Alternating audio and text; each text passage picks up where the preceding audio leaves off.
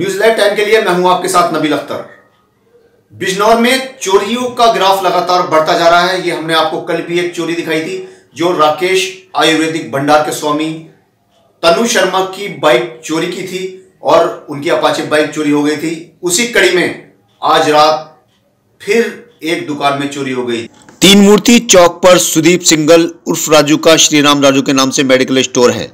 राजू रोज की तरह बीते रात भी मेडिकल स्टोर बंद करने के बाद घर चले गए। सुबह लगभग नौ बजे जब वह मेडिकल स्टोर पर आए तो स्टोर का छटर उठा हुआ था। उन्होंने मेडिकल स्टोर चेक किया तो लगभग सत्तर अस्सी हज़ार रुपए की दवाइयाँ, सीसीटीवी कैमरों का पूरा सेट, डीवीआर। सिर्फ़ चोर इतने समझदार थे कि उनको पता था कि रिकॉर्डिंग डीवीआर में ही होती है, इसलिए वो डीवीआर और पिक्चरें देखने के लिए, फ़िल्में देखने के लिए एलसीडी भी चुरा कर ले गए। घटना का पता चलते ही चौराहे के दुकानदारों में हड़कम मच गया।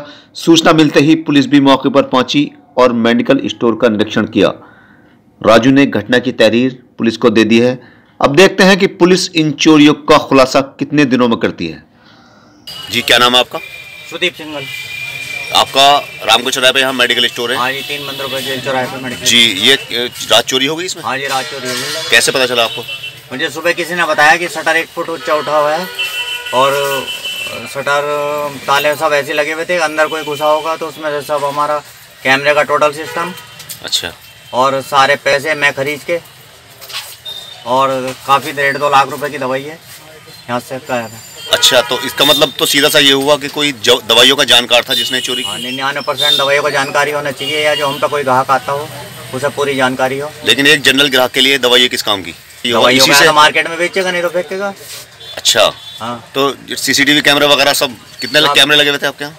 छह कैमरे लगे हुए थे। कैमरे बचे हुए टोटल सिस्टम डीवीडी और सब टोटल सिस्टम ले गया रिकॉर्डर वगैरह सब कुछ ले गया पैसे कितने थे आपके पास कैश रखे हुए थे यहाँ पे जो गए? पैसे होंगे करीब तीस हज़ार रुपये अच्छा तो आपने पुलिस में कंप्लेन करी है? हाँ पुलिस में कंप्लेंट करी है। तो वो सब नोट करके ले गए हैं। और बस अब उस पर जो भी कार्रवाई होगी।